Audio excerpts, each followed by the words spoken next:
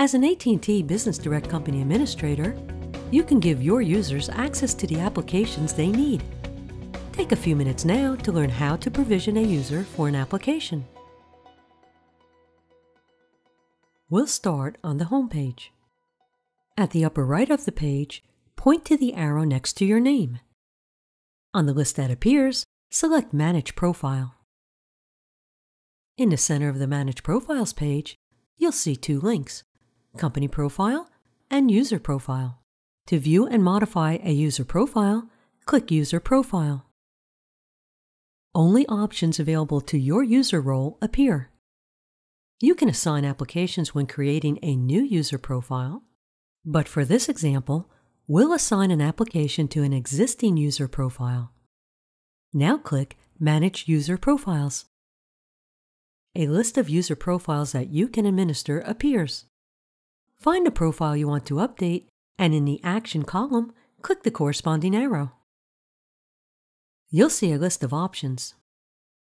Set Up Application lets you provision a user for an application that's already been assigned to them. To assign a new application, select Edit User Information. The first of the two Update User Profile pages lets you update the user's personal information if needed. Scroll to the bottom of the page and click Next. The second page lets you assign the listed applications to this user. Only applications assigned to your company and, if required, provisioned for your company are available. Note that in some cases, you must also be provisioned for the application yourself.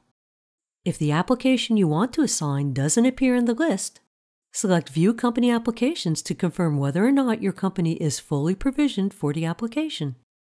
If it's not, contact your AT&T representative.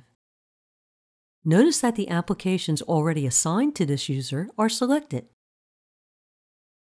To assign another application, click its checkbox and then click Submit.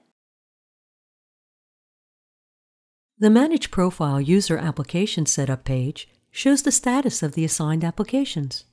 A checkmark means the application is ready for use. In this example, Two of the assigned applications require us to enter provisioning data before the user can access them, including the application we just assigned. Now, select the application and click Set Up Application. The setup page for the application appears. In this example, it's the user provisioning page for AT&T Business Direct Map. Go ahead and select the data you want provisioned for this user. When you're done, click Submit Profile. A message tells you that provisioning is complete. To verify that the application is ready for the user, click the link and return to the user's application setup page.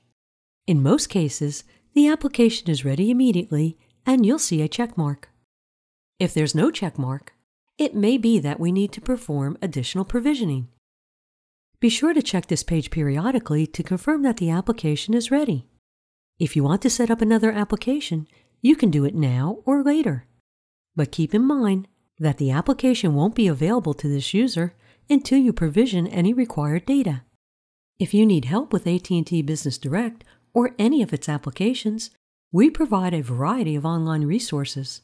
For example, the Learning Center offers extensive help and training or for immediate assistance during normal business hours, we're here to help. Thank you for learning more about AT&T Business Direct, and thank you for choosing AT&T.